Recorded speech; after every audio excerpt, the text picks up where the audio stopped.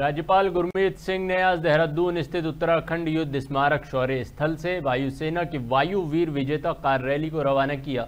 इस दौरान राज्यपाल गुरमीत सिंह के साथ पूर्व मुख्यमंत्री डॉक्टर रमेश पोखरियाल, निशंक और सेना के तमाम अधिकारी भी मौजूद रहे। देहरादून से यह रैली आगरा, लखनऊ, दरभंगा, बागडोगरा, हाशीमारा और गुवाहाटी से होते हुए 27 अक्टूबर को तवांग पहुंचेगी। साथ ही रैली मार्ग में आने वाले सभी युद्ध स्मारकों का भी दौरा करेगी।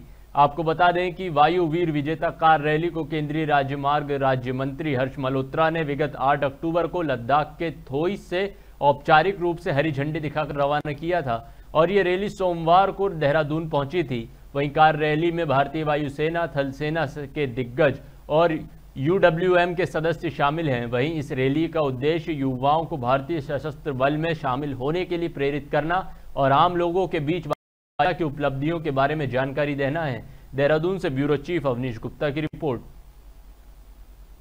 अत्यंत गर्व और हर्ष का विषय है कि आज हमारे वायुसेना के विजेता कार रैली जो लद्दाख के थॉयस से, जो इतना डिफ़िकल्ट और चैलेंजिंग सियाचिन का इलाका है, वहाँ से शुरू करके और इनका लक्ष्य है कि अरुणाचल प्रदेश के तवांग तक जाएँगे।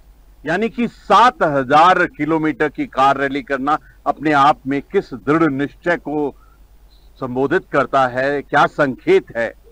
ये सचमुच मैं कहूँगा कि हमारी भारतीय वायुसेना है, जो एक ब्रेवरी करेज साहस, शौर्य, एक तरफ़ और दूसरी तरफ़ एक्सीलेंस जो टेक्नोलॉजी मॉडर्नाइजेशन सेल्फ रिलायंस है, उसका एक बहुत बड़ा संदेश है।